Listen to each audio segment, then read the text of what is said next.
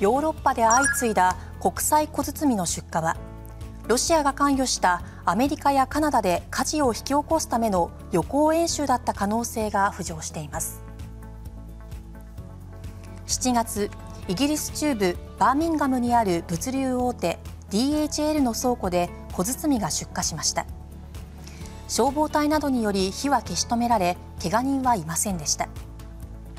またドイツでも小包の中に隠された発火装置が原因とみられる火事が起きていました。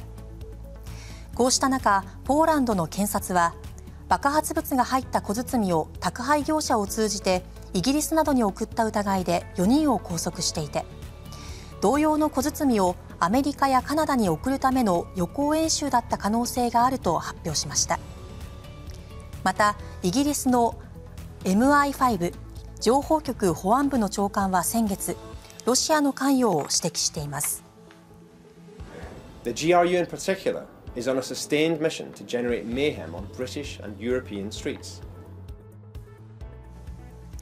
ドイツなど他の西側諸国の捜査機関もロシアの関与を含めて調べを進めています。